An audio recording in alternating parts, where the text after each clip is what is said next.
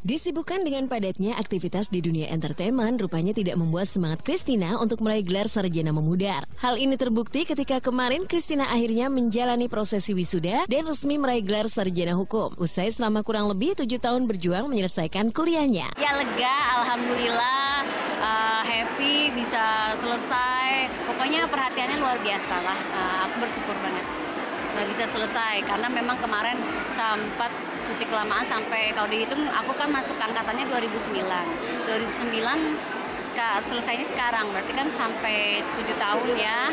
Uh, tapi ya ini suatu perjuangan yang luar biasa menurut aku. Karena memang aku juga nggak nyangka oh bisa selesai juga ya aku bilang gitu. Alhamdulillah aku bersyukur banyak orang-orang yang mensupport sayang sama aku. Ayo kamu bisa kamu bisa gitu.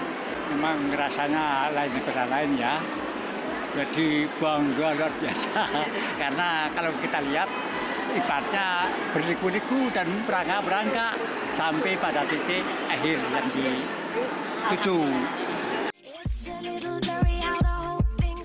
Melihat senyum di wajah ayahanda tercinta ketika menyaksikan dirinya menjalani wisuda memang diakui sangat membahagiakan bagi Christina. Mengingat seluruh kerja kerasnya menyelesaikan kuliah memang sengaja dipersembahkan untuk ayah serta almarhumah ibunda tercinta yang semasa hidupnya selalu ingin melihat Christina menjadi seorang sarjana hukum. Uh, dan ini semua uh, hadiah buat orang tua aku, bapak aku, dan almarhumah ibu aku. Termasuk ya almarhumah sebelum beliau menghembuskan nafas yang nafas terakhirnya juga beliau kan support aku banget. Sampai sampai kita kayak kontak batin, aku ditegur sama pihak kampus, beliau malahan nanyain. Aku mau ke kampus, beliau nanyain, "Neng, kuliah jangan lupa." Itu kan soal kontak batin banget. Alhamdulillah uh, setiap uh, kemarin ibu masih ada, aku, bu ini aku udah udah daftar lagi, bu aku tinggal satu semester lagi ternyata, bu aku lagi ujian, bu aku sudah selesai, bu aku lagi mau skripsi, kayak gitu gitu. Ya terakhir kemarin mau sidang juga ibu sudah tidak ada kan. Aku lagi proses skripsi kan belum sempat aku menyampaikan bahwa aku sudah lulus untuk eh apa sudah menuju lagi skripsi.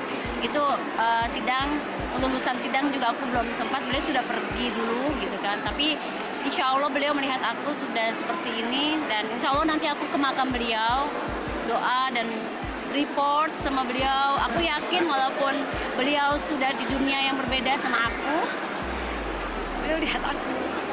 Aku sarjana uh, di wisuda tanpa ibu sekarang. Tapi yang jelas aku hanya bisa berdoa ibu di sana pasti bahagia melihat aku seperti ini dan insya Allah kita bisa berkumpul kembali. Insya Allah kita uh, untuk berjumpa lagi sekeluarga di surga. Hanya hanya bisa doa yang bisa mempertemukan aku sama ibu di dunia yang selanjutnya insya Allah amin, amin.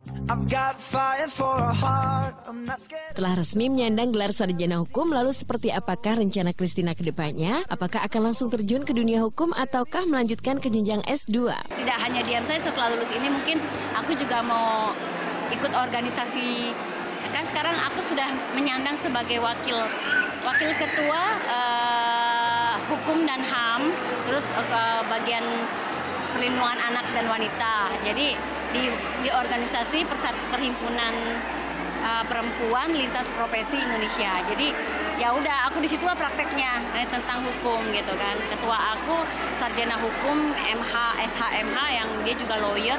Walaupun aku jurusannya juga uh, tidak ke lawyer tapi aku harus tahu juga gitu kan. Aku akan ke notaris insya Allah gitu. Maunya sih S2 tapi aku masih lihat masih masih berpikir berpikir lanjut atau enggak lihat nanti sikonnya kesempatan dan sebagainya